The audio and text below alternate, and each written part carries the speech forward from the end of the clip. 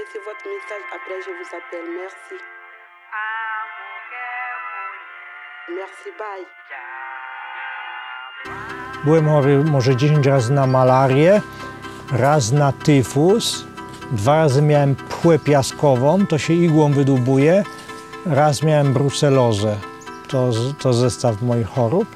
Jeszcze tu ojciec Bogusław miał ślimacznicę, czyli bilharcję po angielsku. Także chorujemy na różne choroby. Na malarię to prawie każdy jest chory od czasu do czasu. Okej, Sagala, Nena, Gonja, Mazzi, Nanasi Sagala, Jagala Bogoya, Bogoya Sentemeka. No, Mandanges.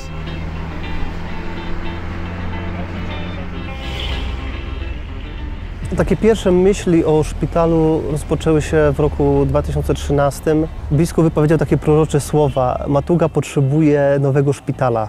Nie ma gdzie się leczyć. I w zasadzie powtórzył to trzy razy. Matuga potrzebuje nowego szpitala. Oczywiście te słowa były skierowane do nas, do franciszkanów, do sióstr zakonnych. Może tak nie do końca do nas dochodziły, ale do mnie osobiście doszły po pewnym czasie kiedy zachorowałem na malarię i okazało się, że w najbliższej okolicy tak naprawdę nie ma gdzie się leczyć, nie ma gdzie nawet zbadać e, e, krwi na malarię. Tak powstawały pierwsze marzenia od szpitalu. Zaczęliśmy szukać pieniędzy, pierwsze grosze zaczęły wpływać z Niemiec, ze Słowacji, z Czech, z Polski. Pierwsze piętro, drugie piętro. E, Po, po, po dwóch, trzech latach udało nam się ten szpital skończyć, ale ludziom też nie można służyć z pustymi ścianami. Tak naprawdę czekaliśmy na wielki cud jak rozpocząć wyposażenie, jak rozpocząć działalność. Nie mieliśmy żadnego sprzętu do momentu, kiedy powstał pomysł, aby zwrócić się z prośbą do Ministerstwa Spraw Zagranicznych z projektem polskiej pomocy o wyposażenie tego szpitala. Wtedy właśnie z pomocą przyszła nam Fundacja Innovate.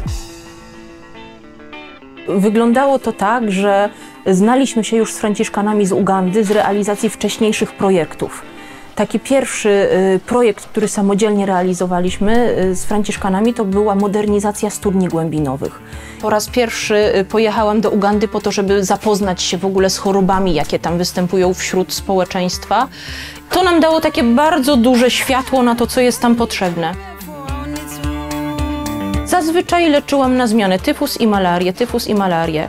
Problemy pojawiały się, kiedy y, były to przepukliny brzuszne, których już nie można tak łatwo wyleczyć tabletkami i potrzebują leczenia chirurgicznego. I to dało mi do myślenia, że rany, operacje przepuklin brzusznych to są najczęściej wykonywane operacje na świecie. Więc dlaczego by nie przeprowadzać ich w Ugandzie? To nie jest nic tak bardzo skomplikowanego. Przepukliny występowały głównie dlatego, że dziecko jak tylko nauczy się chodzić, chodzi do studni i przynosi wodę. Więc takie maleństwa od samego początku dźwigają bardzo ciężkie przedmioty. Stąd też powstał projekt modernizacji studni głębinowych, tak żeby były krótsze dystanse do przechodzenia i noszenia wody.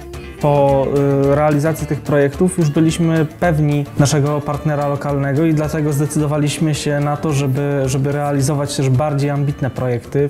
I tak powstała idea realizacji projektu wyposażenia szpitala w Matuga, który obejmowało wyposażenie go w cały sprzęt niezbędny do podjęcia działalności medycznej, dodatkowo wyposażenie w infrastrukturę, która jest potrzebna do tego, żeby szpital funkcjonował, komputery, meble, dostęp do internetu, jak i również przeszkolenie lokalnego personelu.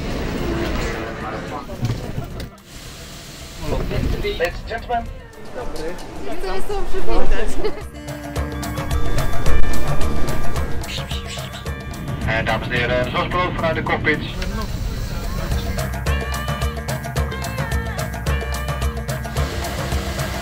Właśnie wylądowaliśmy w Kampali i wyszliśmy z lotniska. Słodziak.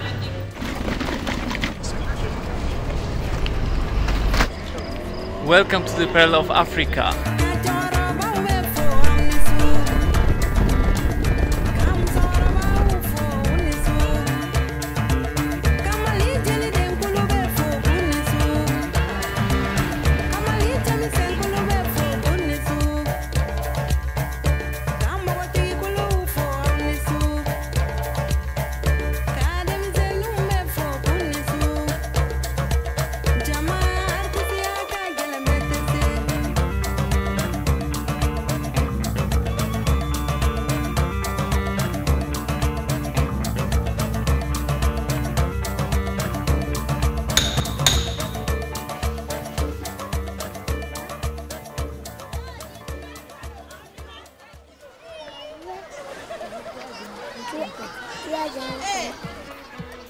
Zaraz na samym początku, kiedy zaczęliśmy pracować w szpitalu, pojawiliśmy się na miejscu, społeczność lokalna momentalnie to wychwyciła. Zauważyli, że się zaczynają kręcić ludzie, że pojawia się personel.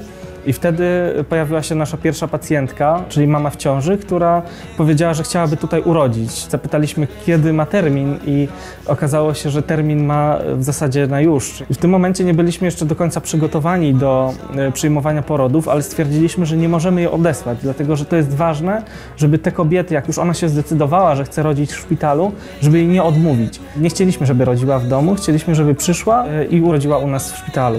I w tym momencie musieliśmy podjąć szybką decyzję, czy się tego podejmujemy. Stwierdziliśmy, że będzie to wyzwanie, podzieliliśmy się obowiązkami, yy, ustaliliśmy, jakiego rodzaju sprzętu nam brakuje. Momentalnie ruszyliśmy do akcji. Ona będzie rodziła dzisiaj albo jutro?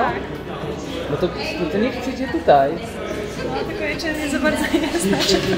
Jest to niewątpliwie dosyć niespodziewana sytuacja dla wszystkich, że pani zdecydowała się rodzić już dzisiaj w ośrodku, więc zobaczymy, czy dziewczyny się podejmą odbioru tego porodu. Kiedy pacjentka właśnie przyjechała do szpitala po to, żeby urodzić dziecko, no to ja byłam bardzo zaskoczona, ponieważ to był wczoraj dopiero nasz drugi dzień pracy.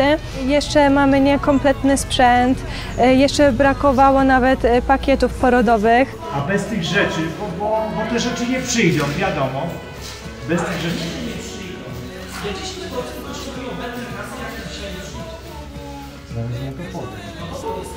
Rzeczywistość afrykańska jest jakby odrębna troszeczkę od naszej, zwłaszcza jeżeli chodzi o poczucie czasu. E, Mówi się, że my mamy nasz muzungu time, czyli czas białych, oni mają swój, swoje pojęcie czasu i czasem zdarzają się sytuacje takie, że te nasze spojrzenia na temat czasu się roz- rozmijają, co przy takich projektach wiadomo jest delikatnie utrudniające, dlatego że trzeba po prostu brać pod uwagę pewne rzeczy, które nie do końca muszą się wydarzyć zawsze wtedy, kiedy byśmy oczekiwali. But this we need for today. He's, uh, this man responsible for, for paying, he said he will pay you less if you, if you, if he does not, uh, the, if you don't deliver these things necessary for deliver today. Because it's very serious. I don't know, delay is terrible. Co to za miejsce? Jesteśmy u naszego dostawcy sprzętu medycznego, porozmawiać o odbiorze sprzętu, który jeszcze nie dojechał, ale ma dojechać wkrótce. Friday, Saturday, but all the time he's in the office and, uh, Let's have a seat, brother. and the OP upstairs. The airlines never took the goods because of the heavy rain. Bombay was flooded, no flight went. They cancelled the booking. Then the booking got it due to rain. It was a heavy rain, flooded. I'll show the picture they sent. Pan uważa, że e, sprzęt nie dotarł ze względu na powódź, która wystąpiła w Bombaju i pokazuje nam właśnie zdjęcia zalanego Bombaju, że z tego powodu nie przyleciał samolot ze swojego You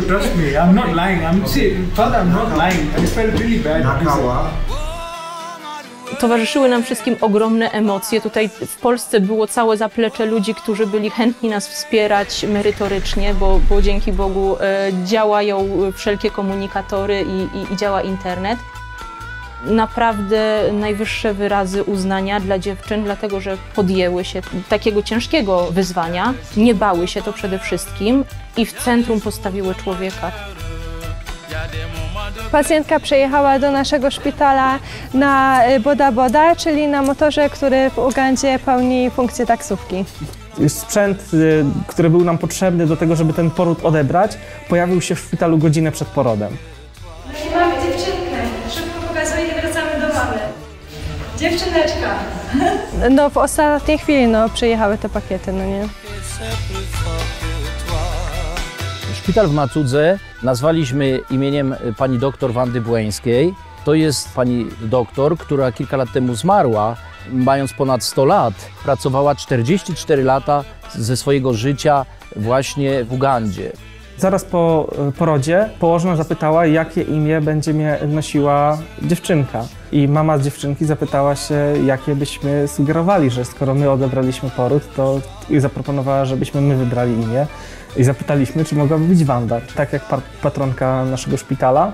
I mama stwierdziła, że jest to bardzo dobry pomysł i przyjęła to jakby z radością i w ten sposób e, podczas oficjalnego otwarcia szpitala mała Wanda też była uczestniczką tego otwarcia i też e, została ochrzczona przez arcybiskupa e, Kampali Kizito Luanga.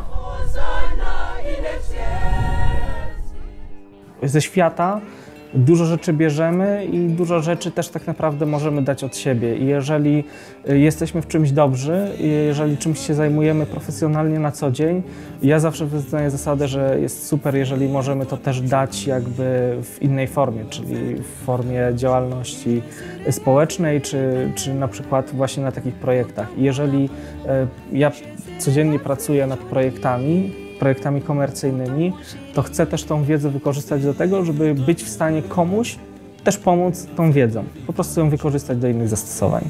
Zaprosiłem do projektu kolegów ode mnie z firmy, którzy zdecydowali się na to, że pojadą do, do Ugandy i wspólnie wykonaliśmy sieć dostępu do internetu, y, sieć Wi-Fi i sieć monitoringu, aby mogła później służyć szpitalowi w jak najlepszy sposób. Przy zakupie sprzętu kierowaliśmy się zasadą taką, że chcemy równać jednak do góry, a nie w dół. Stąd w szpitalu pojawił się nowoczesne laboratorium, pojawiły się systemy wideokonferencyjne, pojawiła się nowoczesna sieć Wi-Fi, czego tak naprawdę w żadnych innych szpitalach, czyli w innych szpitalach w e, Ugandzie tak naprawdę brakuje. E, czyli takiego zaplecza od strony także informatycznej, która powoduje, że jednak e, idziemy zdecydowanie o krok dalej. Zanim w ogóle ten projekt zaczęliśmy pisać, e, to, to zapytaliśmy Franciszkanów, czy są w stanie zapewnić trwałość, dlatego że takie projekty mają sens jedynie wtedy, kiedy jest zapewniona ich trwałość. Bardzo ważne jest też, żeby te projekty były robione w kooperacji z władzami lokalnymi, żeby właśnie E, tutejszy mer, deputowany czy władze dystryktu wiedziały, że taki projekt e, ma miejsce, żeby poczuły się współgospodarzami tego projektu, skutkiem czego na przykład już dalsza część zarządzanie tym, tym ośrodkiem, czy po prostu jakieś jego doposażenie również byłyby skłonne finansować. To jest właśnie takie partnerstwo z władzami lokalnymi i upodmiotowienie obywateli Ugandy. Mamy w fundacji taką zasadę, że nie tylko kupujemy najlepszej jakości sprzęt, ale też wysyłamy najlepszy możliwy personel. Dlatego, że e, w Afryce absolutnie niezbędna jest pomoc bardzo fachowa i bar z bardzo dużym doświadczeniem.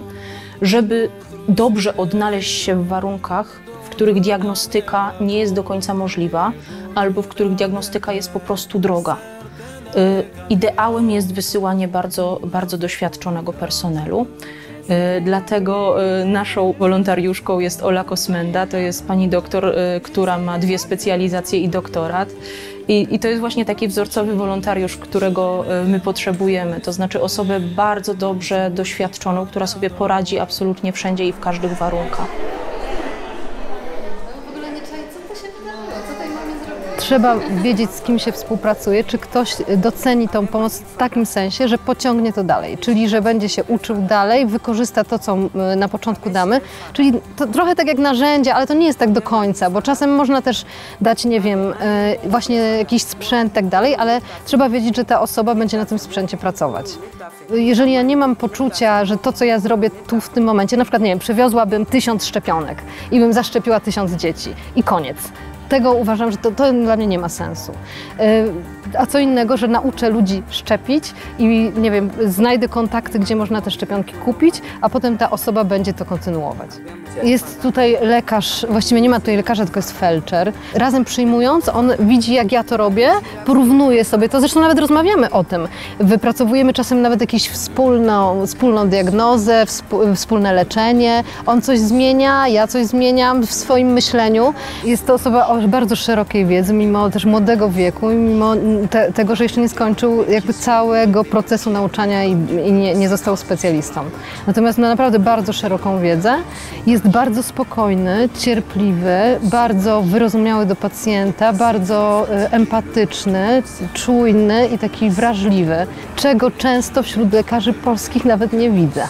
Afryka ma to do siebie, że E, jednak warunki życia, realia są dużo gorsze niż na kontynencie europejskim i jest to e, na pewno trudne, ale ludzie dzielą się tym, co mają, ludzie są otwarci, chcą się spotykać, e, chcą rozmawiać. Wszystko się robi tak, jak się czuje, żyje się uczuciami, uczucia się zmieniają, więc raz jest, jest jak jest radość, coś przy- przyczyną uśmiechu, jakby, ponieważ jest tak trudne życie, że ludzie sobie muszą jakby, muszą sobie ciągle e, tej radości no, sprawiać. Jest mała sytuacja, już im sprawia radość, prawda? Każda rzecz, która e, wykorzystują do radości. Tej radości rzeczywiście tu jest dużo. To jest e, zaskoczenie dla wielu Europejczyków.